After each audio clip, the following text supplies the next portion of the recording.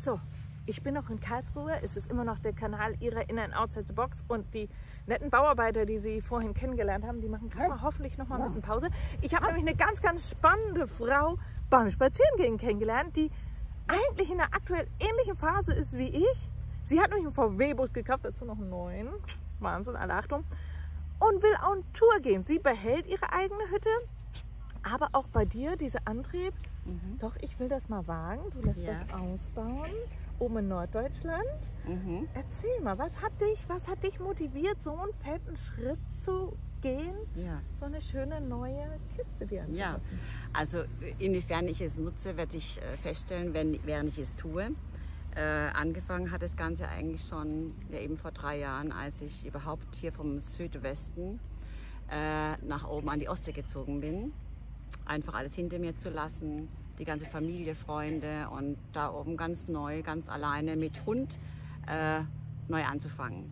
Dieser Prozess, der fing da schon an und der heißt eigentlich Freiheit. Also wenn ich eine Überschrift geben müsste, dann heißt es Freiheit, weil das einfach das ist, was mein Leben ausmacht oder was mich ausmacht, weil ich versuche, dem nachzugehen, was aus mir herauskommt und aus mir heraus will, dem nachzuspüren und das dann ins Leben zu transferieren oder zu leben eigentlich.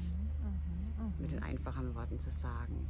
Nach Freiheit sehen wir uns ja alle und Ja. dennoch finde ich es echt ein Wagnis, so eine Kiste sich anzuschaffen. Gerade so eine Mhm. neue, ne? Mhm. da haben wir es ja schon mit einer netten runden Betrag zu tun. Ja.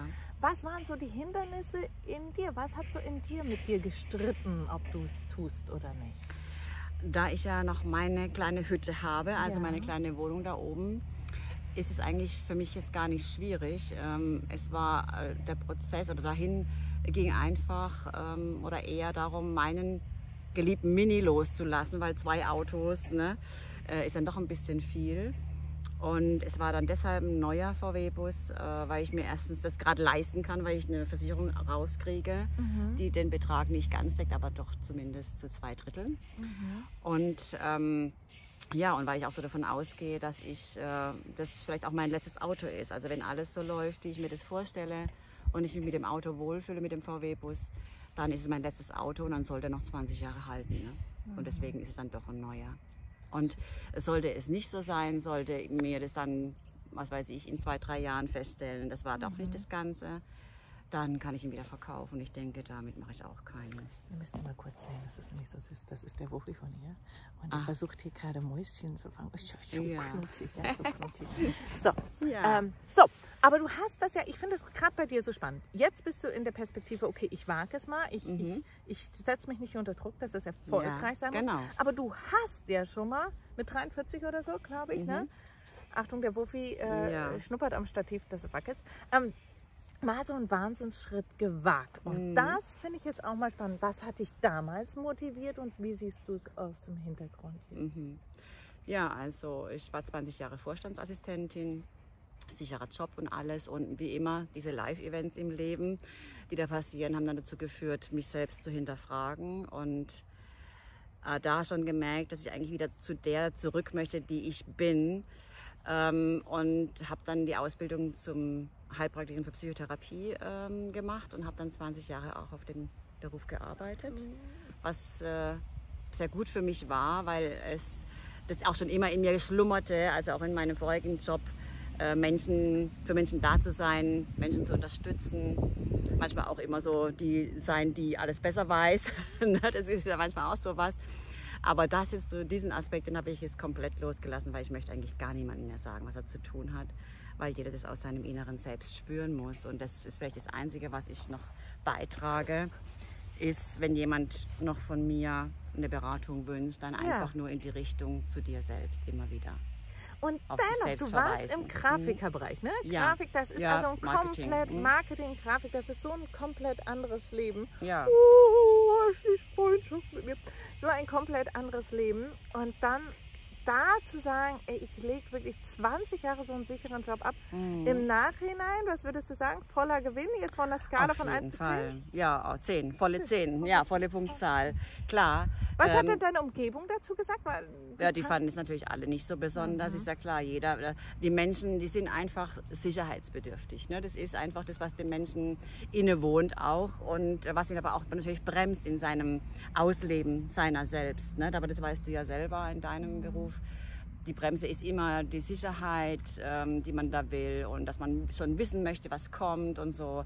Das ist das, was uns davon abhält, uns selber zu leben. Und ja, warum ich das, äh, du hast gefragt, warum ich das dann gemacht oder äh, ja, was die Umgebung auch genau. Achso, die Umgebung fand es natürlich wie- nicht so, genau, aus dem Sicherheitsauto, du hast auch einen tollen Job, du hast, äh, verdienst viel Geld, ähm, du hast eine tolle Wohnung und äh, wieso willst du alles aufgeben, aber ist ja klar, wie ich gerade sagte, das ist so, was man, in Anführungszeichen, so macht und ich habe als Kind schon ziemlich opponiert gegen das, was man Cool, ne? macht und gefragt, wer ist denn Mann? Wer ist der Mann? Ja, genau. Und Mann, genau. Mann, und Mann ja. ist irgendeine Gesellschaft, sprich ähm, eine Gruppe von Menschen, die meint, sie hat Recht. Ne? Und das gibt es einfach nicht. Ne? Mhm. Ja, es gibt kein ja. Recht. Äh, so, also für mich äh, ist es auf jeden Fall sehr gut so gewesen. Und es war schon der erste Schritt in die Freiheit, der erste Schritt wieder zurück zu mir selbst, also zu mir, ähm, bei mir wieder sein. Ne? Und ja. Und das finde ich gerade einen coolen Abschluss, weil ähm, die Ladies, die zu mir kommen, kommen häufig mit Mhm. Burnout-Problemen oder der Sache, äh, der Frage, den Beruf ein bisschen umzustellen oder nach drei Kindern mal wieder anzufangen zu arbeiten. Und es ist jedes Mal so ein aus den Konventionen gestresste Entscheidung. Also ich muss wieder Geld verdienen wegen dem Haus oder äh, ich, ich will jetzt mal eine Das höhere müssen, Gehaltsstufe. müssen, müssen, genau, ja. dieses, Muss, es muss. kommt ganz häufig dieser Entscheidungsdruck von außen. Und das fand ich jetzt spannend, sie einfach auch mal dir, euch vorzustellen. Dieses, schau an, die ganze Umgebung hat gesagt, nee, bist du verrückt, ist das bekloppt? Und sie gibt der Entscheidung eine 10 hinsichtlich gelungen, nicht zu bereuen. Ja, auch an die Ostsee hoch, ne? die drei Jahre. Ob ich da oben bleiben werde, habe ich keine Ahnung, weil ich habe keinen Zukunftsplan, gar nichts. Ich lebe im Jetzt, wie man so schön heute modern sagt. Aber das ist einfach die Gegenwart und was kommt, interessiert mich nicht. Ich werde es ja sehen dann, wenn es da ist. Jeden Ja, Tag. Ne? Und äh, das war eben auch nochmal ein Weg. Das war ja noch schlimmer für alle, für die Familie, ähm, wegzugehen einfach. Ne? Da, alles da zu lassen, komplett hier zu lassen, ganz alleine mit Hund abzuhauen und mal was ganz anderes zu leben. Auch das ist natürlich eine 10. Ob ich Ja. dort bleibe, weiß ich nicht. Das werde ich dann sehen, was mit dem VW-Bus passiert, wo er mich hinführt. Ja, ja. Ne? Unter anderem. Also mein Ergebnis von dem, was ich gerade so wage, ist, für mich war IT wirklich das, vor dem ich am meisten Schiss hatte, weil ich einfach null Ahnung hatte und eben diesen Ehemann mit Vollahnung.